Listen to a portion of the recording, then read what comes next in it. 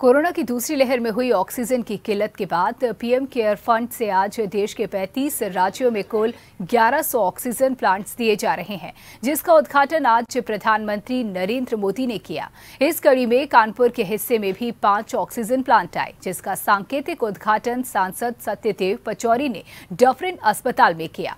इस दौरान उन्होंने कहा कि केंद्र सरकार के इस प्रयास के बाद अब देश में किसी की मृत्यु ऑक्सीजन की कमी से नहीं होगी।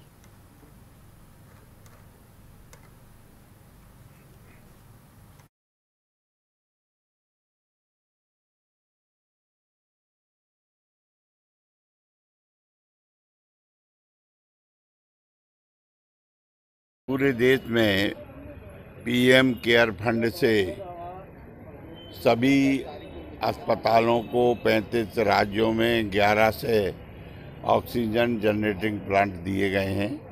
उसमें कानपुर को भी पाँच जनरेटिंग प्लांट मिले हैं। उसमें एक आज डफरन में हमने यहाँ पर सिम्बॉलिक उद्घाटन किया है। मुख्य उद्घाटन 11 बजे माननीय प्रधानमंत्री जी करेंगे और देश को समर्पित करेंगे। ये पहली दफ़ा है कि देश के 11 से अस्पताल ऑक्सीजन के उत्पादन में आत्मनिर्भर होने जा रहे हैं।